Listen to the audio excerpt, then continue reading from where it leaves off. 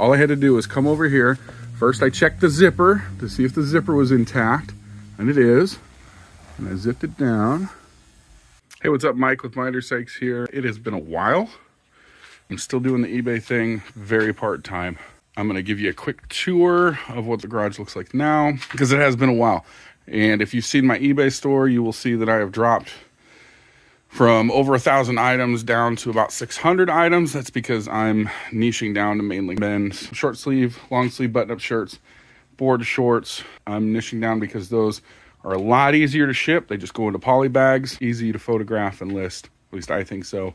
But I don't like selling clothes. I am less tempted to keep, though I don't find much stuff my size anyways. Here we go. My desk is chaos. It's still from the cleanup. Found these Rugrat tapes. That Falkor backpack I found at a thrift store a couple months ago.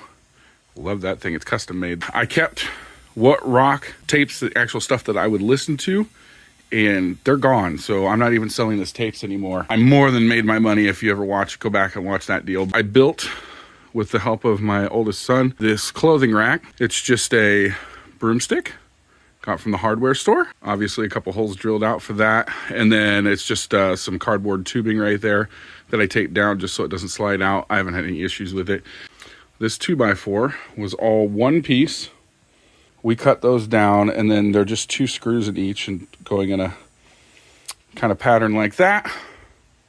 And it worked out. Now behind me, there should be more black shells, but they're gone. I still have some of the consignment stuff that I was doing. All my polos, short sleeve men's button ups, hodgepodge of stuff, and a little piece of leaf or something right there. Tommy Bahama, it's like an orange apricot Baja type shirt. That's got the blue Danube pattern right there. If I said that correctly from my porcelain group, correct me if I'm wrong. These are all board shorts, stuff that just didn't fit. These are the jeans I have left. My dad found a CD trade post. It's a music store slash video game store. Graphic tees, Lone Star Express. There's only one man who would dare give me the raspberry. Lone Star! Clockwork Orange. Now tell me what you had in mind, Georgie boy. Dragon Ball Z, Senzu Bean since 1986. Where was my senzu bean? Senzu bean! Visit Scarif. This was my wife's favorite. Casterly Rock. Westeros Brewing Company, the Lannisters. Lannister always pays his debts. We have over 200 of them, and they range all the way up to size 3X. Go ahead and check out uh, my eBay store if you want to take a look at those. When the store closed down, they gave us this rack. It's on wheels, it's steel piping. I can raise and lower it. I probably could put them up high and then build a shelf down there on the bottom. These are mostly coats men's long sleeve, men's long sleeve. This is a lot of the leftover stuff that's going to be phased out. There's some Harley stuff left from that Harley buy, a lot of the women's stuff. I took a trip to Lincoln on Friday. I was doing a pickup from an eBay purchase from Alicia, the inked picker. Go ahead and check out her channel. She had told me about a couple of estate sales. All right, so obviously estate sales is going to be older clothes. This H bar C, it's a Western pearl snap, but if you look, I don't know how well the camera does it justice. It's a blue pearl, and it's really nice and it's definitely got that the Western style seams, um, and it's old enough that it has the inspector's stamp.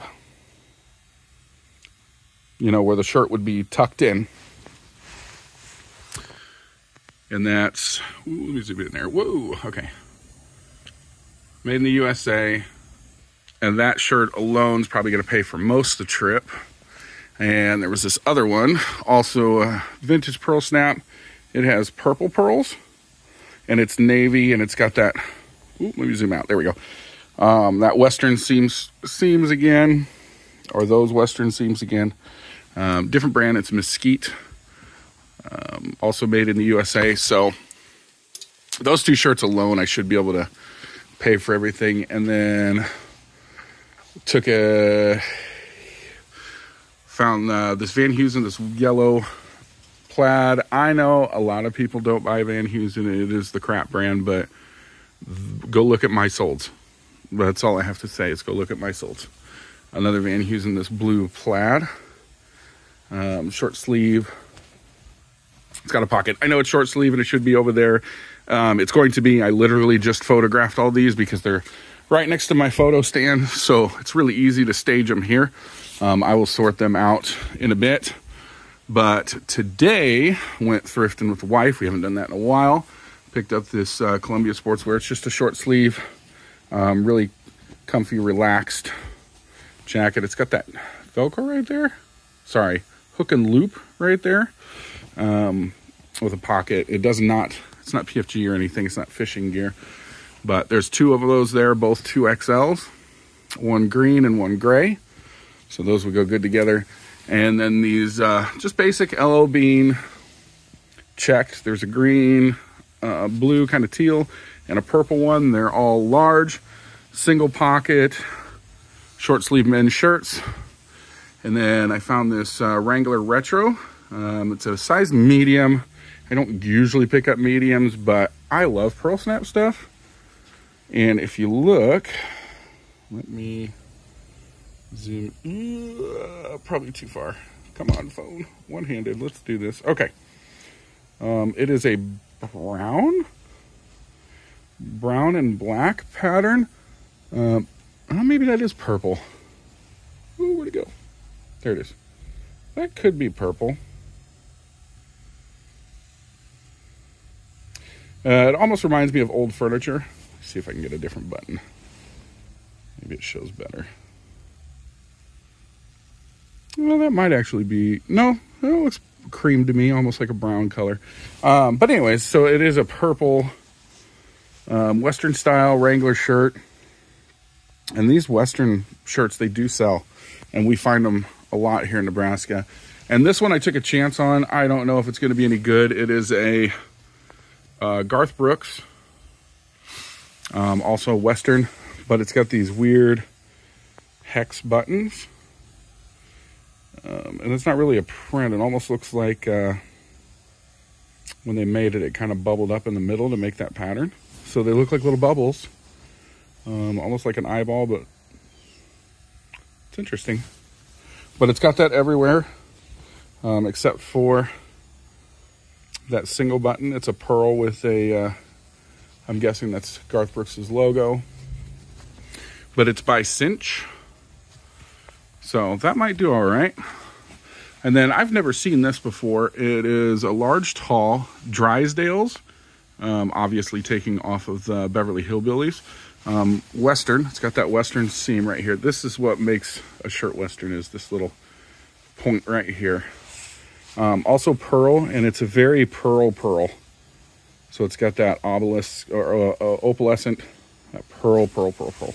Um, but it's canvas. It's very thick you definitely could wear this outside working that kind of stuff. So um, that might do well. I haven't even done comps on it. I literally just took photos and decided, oh, I'm going to do a video. I haven't done one in a while. Um, American Eagle outfitters, I don't pick up a lot. I have, a, I do have a lot. Um, but I just took a chance and it was kind of a pearl snap kind of, kind of weekend. So this is a vintage fit, medium. Of course, there's that Western. And this is more of a marble.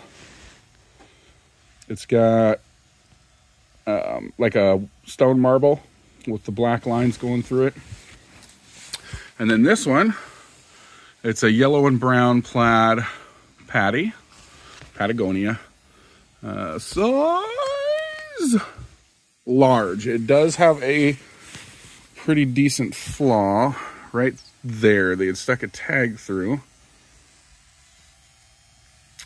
And so the tag hole got large, but otherwise, not bad shape. It does have the little uh, flank tag right there. Okay.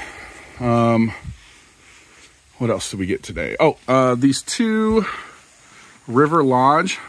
They're Columbia Sports, single pocket, uh, men's long sleeve. This is uh, hunting like uh, bucks pattern, you know, the deer, male deer. And then uh, these are both size large. I think I said that already. I don't remember. Um, and then these are hunting dogs, bird dogs. And so those should go. Now this jacket. Funny story on this jacket. Let me zoom out just a little bit. So I saw it just like this on the hanger. It was just like this. You can't see anything down here. But I saw it just like this. And I saw the black.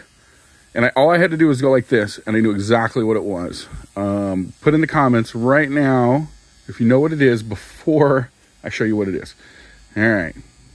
So this, all I had to do was come over here. First, I checked the zipper to see if the zipper was intact, and it is. And I zipped it down.